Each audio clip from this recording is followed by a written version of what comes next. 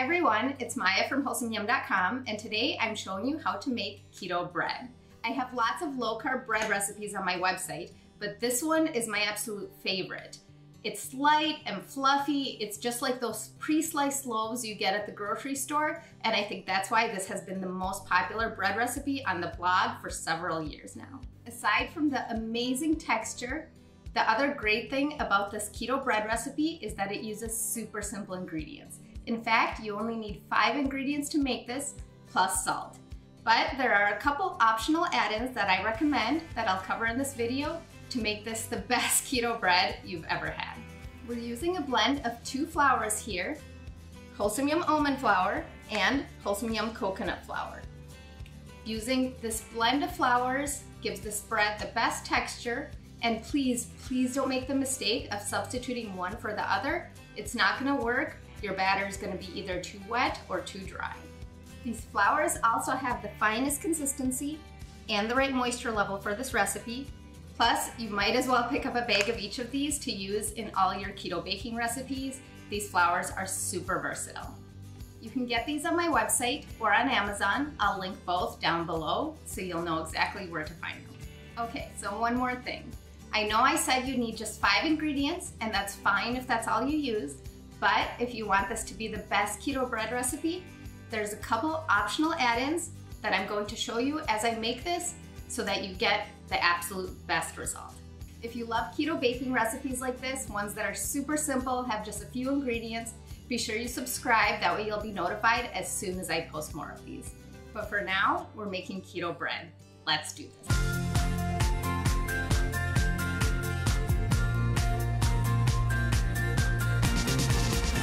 We're going to start by lining our loaf pan. You're going to use a loaf pan that's about 8 by 4 inches or 8.5 by 4.5. And so we're going to get a piece of parchment paper that's a little bit bigger than both the bottom of the pan and the sides combined. So just kind of check on the sides here to make sure that it's the right size, cut off any extra. And then we're going to do the same thing on the other sides here. Cut off any extra so that this is the perfect size and the only thing we have left to deal with are the corners. So here's my little trick here. You're gonna arrange the parchment paper over the pan and just cut out where the corners are going to be. And then flip it over and it'll fit right in. You're not gonna have any bunching in the corners. Look at that. Now we're going to measure our butter. So for this keto bread recipe, you're going to need a third of a cup of butter. That's five tablespoons plus one teaspoon. You'll notice the stick of butter has these notches on it, so you'll count five notches plus one third of the sixth notch. That's gonna get you a third of a cup total and then you can just unwrap it from the foil and cut it into pieces. That way it's going to melt faster. And I'm gonna transfer this to a bowl so that I can microwave it to melt. If you like, you can melt on the stove top instead, up to you. I don't need this anymore. All right, I'm gonna go ahead and melt this. Look, looks like magic on video. And we're gonna set that aside. And now we are going to get a food processor. I like this 14 cup food processor because it's going to fit a lot in there. So we're going to add one cup of Wholesome Yum blanched almond flour,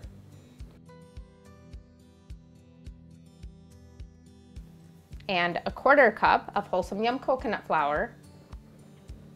Again, this flour combination is going to give us that really good texture and the coconut flour tends to stick, so be sure you get it all out of your bowl or measuring cup.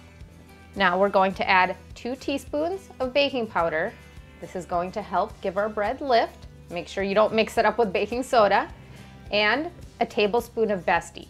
This bread is not sweet, so we're using just a tablespoon, but it does balance out the saltiness. And we just added a quarter teaspoon of salt in there as well. Now I'm going to add one of the optional ingredients, a quarter teaspoon of xanthan gum. This is going to give us that chewy texture. It's gonna help the bread stay together, but if you like, you can skip it and we're gonna pulse all those ingredients in the food processor until they're nice and uniform. And now we're gonna add the melted butter in there. If you like, coconut oil is also a fine substitute for the butter, so feel free to swap that out if you like for a dairy-free option. And we're gonna pulse that again until we get this kind of crumbly texture. Watch for ingredients sticking to the side of the food processor, so just use a spatula to get any of those off. And we're going to set this aside for now, and we are going to whip our egg whites. So the first thing we're gonna need to do is separate the eggs. Make sure your eggs are at room temperature. This is going to do a couple of things.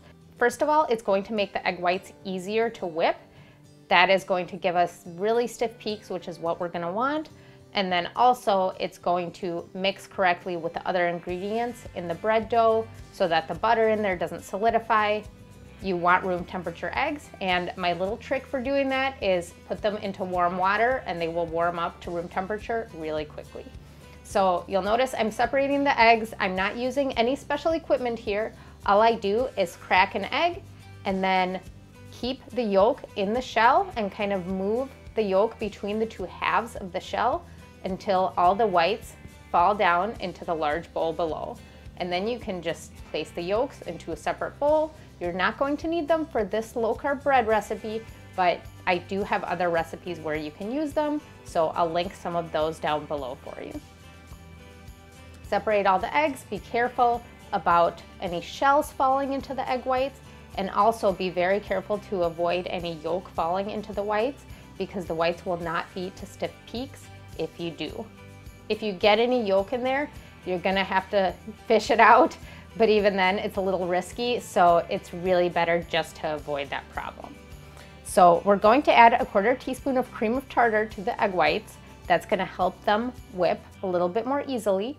And then we're gonna attach a whisk attachment to a hand mixer. I highly recommend the whisk attachment instead of the beaters because it's going to create more air and you're going to get a better result.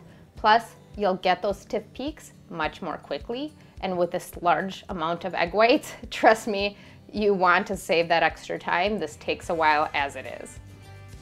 So the egg whites are going to start out clear and then they're gonna start to get kind of frothy and I like to start at kind of a low to medium low speed and then once you get that frothy texture then you can increase the speed to about medium high or so if your mixer has multiple settings.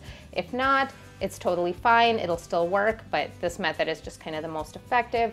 And then you're gonna get soft peaks first and then if you just keep going, eventually you're gonna see these streaks. And if you hold up the whisk, You'll notice that the egg whites will kind of like stand up.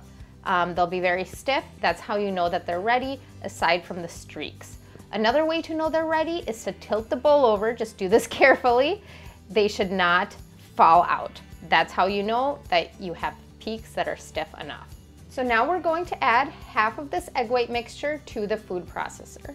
We need to be really careful not to break down the egg whites. This is what's going to give us those nice air pockets and that fluffy texture in our keto white bread. So it's important that those egg whites stay at least partially intact. We're going to pulse, that means starting and stopping in the food processor until this is just combined, but be careful not to overmix so we don't get rid of all the air pockets. And now we're going to transfer that mixture into the bowl with the remaining egg whites and we're going to fold very gently. Make sure that you use a folding motion. Don't just stir or you're gonna break down all those air pockets, but just keep going until no streaks remain. It's important that you don't see any more streaks, otherwise you're gonna have clumps of almond flour and clumps of egg white in your bread, and that is not going to taste good. You want it to be completely uniform, but try not to break down those air pockets. Time to transfer our keto bread batter into the loaf pan. Again, be gentle with it and just kind of scoop it all in there. It shouldn't be totally runny. If it's runny, then you broke down the egg whites too much, but it's not really stiff either. It's kind of fluffy. And we're gonna smooth the top. I like to round the top a little bit so that our bread is going to be rounded when it bakes because it's not going to rise a whole lot in the oven. Time to bake. We're using a lower oven temperature, 325 degrees, because this bread is gonna take a while to cook through. So we're gonna bake for 40 minutes at first until the top is golden brown, and then we're gonna tent the top with foil and bake for another 30 to 45 minutes until the top is firm and it doesn't make a squishy sound when pressed. Keep in mind that the toothpick test does not work very well with this bread because it's going to pass the toothpick test before it's actually done. And if you take it out too early, the bread is going to collapse. Nobody wants that. So just use your finger to check, make sure there's no squishy sound. And if you want to also check with a toothpick just to be safe, you can. But overall, the baking time is over an hour, including that time tented with foil. And then once you take it out of the oven, be sure you let it cool on a cooling rack, peel away the parchment paper so that it doesn't get too wet and let it cool completely before you slice it. My bread is finally cooled and I'm so excited to cut into this.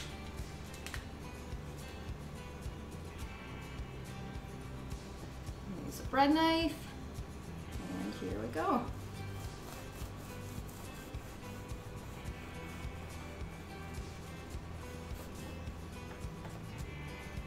Look at that. I love how light and fluffy this is. I love those air pockets. This is always the challenge with keto breads, getting those air pockets. And so I'm always so excited when we get these right. You can use this keto white bread for just about anything. It's perfect for any application where a really soft bread would be really nice. So it's great for sandwiches, it's great for toast, you can even make French toast out of it. I'm gonna keep it super simple and just make a turkey sandwich here.